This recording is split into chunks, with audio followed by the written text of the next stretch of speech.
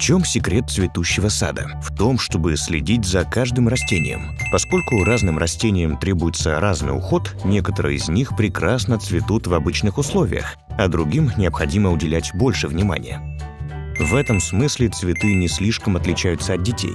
Точно так же, как садовники стараются вырастить растения с самыми разными требованиями, учителя по всему миру занимаются с детьми, у которых самые разные интересы, способности и знания.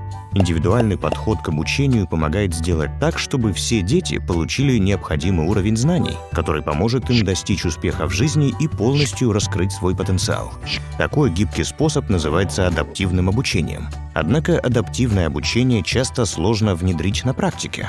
Здесь на помощь приходят цифровые инструменты, которые высвобождают время для индивидуального подхода к каждому ученику. Давайте посмотрим, как их можно применить в классе. Дроби часто изучаются как некое абстрактное понятие. Для одних учеников решение задач с дробями не составляет труда, но для других они вызывают затруднения. Цифровая образовательная среда может дать им необходимую дополнительную поддержку. Скажем, ученики могут использовать планшеты для понимания дробей на примере виртуальной пиццы. Они могут разделить ее на 8 кусков, отдать другим ученикам три виртуальных куска и посмотреть, какая часть целой пиццы осталась. Затем упражнение можно повторить, разделив ее на 2, 3 или 5 кусков. Анимация поможет им сопоставить куски пиццы с числами на числовой прямой. В другом классе ученики могут проходить, например, процесс испарения. Учитель объясняет, что при нагревании частицы жидкости начинают двигаться все быстрее, и в конце концов образуется газ. Анимация также позволит визуализировать данный процесс, невидимый невооруженным глазом. В глобализованном обществе некоторые ученики могут испытывать трудности с пониманием языка, на котором ведется обучение. Им тяжелее разобраться, например, что такое эволюция, просто потому, что они плохо понимают учителя.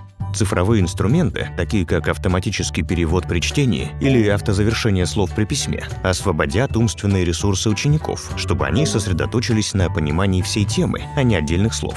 При помощи цифровых инструментов ученик и учитель могут подобрать задачи требуемой сложности и дать друг другу мгновенную обратную связь по их решению.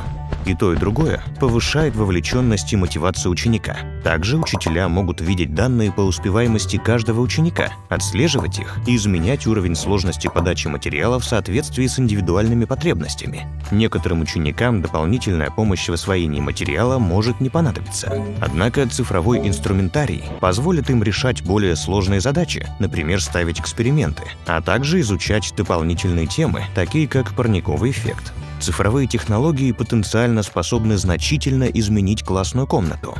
Тем не менее, их использование приводит к рискам, о которых нельзя забывать. Например, встает очень серьезный и неоднозначный вопрос конфиденциальности использования и доступности данных об учениках. Доступ к цифровым технологиям особенно важен в условиях закрытия школ во время пандемии COVID-19. Неравный доступ к ним не только не уменьшит, но и увеличит разрыв в успеваемости в пределах класса. Аналогично раздаче учебников проблему поможет решить обеспечение учеников базовыми планшетами и доступом в интернет. Но это возможно далеко не во всех странах. Образовательные интерактивные платформы, как, например, «Открытая школа», стараются предоставить необходимые технологии всем желающим. Могут ли когда-нибудь цифровые инструменты полностью заменить учителя? Ответ – нет. Цифровой инструментарий – это лишь один из способов персонализировать подход к обучению. Исследования показывают, что эффективнее всего он работает в связке с традиционными методами и совместной работой в классе. Цифровые инструменты помогают учителю подкорректировать образовательный процесс в соответствии с нуждами каждого отдельного ученика.